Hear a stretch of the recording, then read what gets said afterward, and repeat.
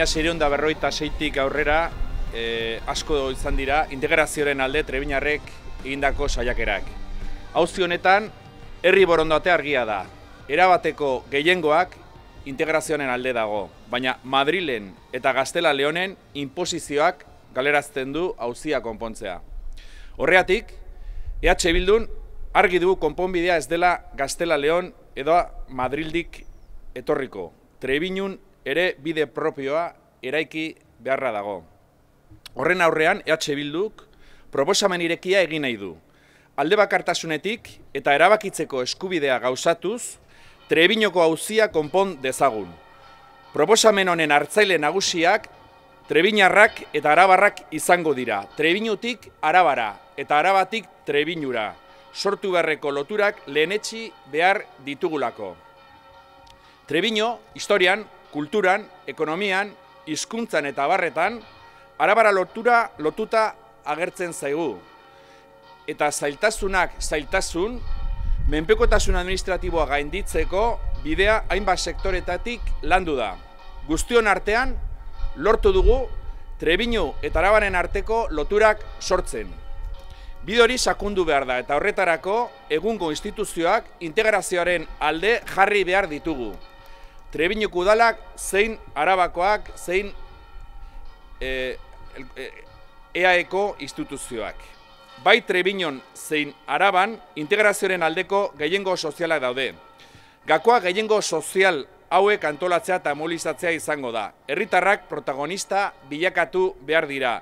Herri boterea prozesuaren bultzatzailea izan dadin. Ez da egun bakar batean Trebinoko auzia konponduko. Ez du guzti referendum baten zain egoteko baldintzak ematen direnik. Hortaz, momentu jakin baten zain egon beharrean, prozesu mailakatua martxan jartzeko unea da. Erabaki txikiz eta haundiz beteriko bide iraunkorra garatu behar dugu. Ante esto, ante Treviño, por tanto, en el día de hoy, presentamos tres compromisos concretos y una propuesta con cinco puntos. Los compromisos que vamos a desarrollar son los siguientes. En primer lugar, dentro del proceso constituyente que va a iniciarse en Euskal Herria, EH Bildu adquiere el compromiso de tratar a Treviño igual que cualquier otra comarca. Segundo, EH Bildu pone toda su representación política e institucional a trabajar en favor de la vía de los hechos. También vamos a trabajar para que las mayorías y gobiernos que se puedan formar después de las elecciones de mayo del, del 2015 respalden la vía de los hechos. En tercer lugar, compromisos concretos que desarrollaremos desde la Diputación de Araba. Poner en marcha el servicio Cuadrilla de Treviño Arganzún dentro de la Diputación. Un servicio de carácter transversal que tendrá como principal objetivo profundizar en la vía de los hechos. Y por tanto, en esta vía de los hechos proponemos cinco ejes. Primero, definir como sujeto de decisión a los habitantes de Treviño.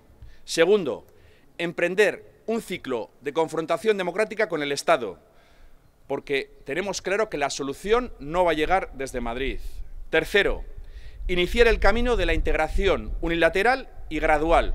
Cuarto, impulsar que las instituciones de Araba y el gobierno vasco se comprometan a poner en marcha la vía de los hechos. Y en quinto y último, y último lugar, crear una mesa política, social y sindical que apoye el proceso, defina los puentes a construir y active los mecanismos de, presión necesarios. Estamos, por tanto, convencidos de que vamos a ser la primera fuerza de Araba y desde esa posición adquirimos el compromiso de gobierno de tratar a la cuadrilla de Treviño Arganzún como la octava cuadrilla de Araba.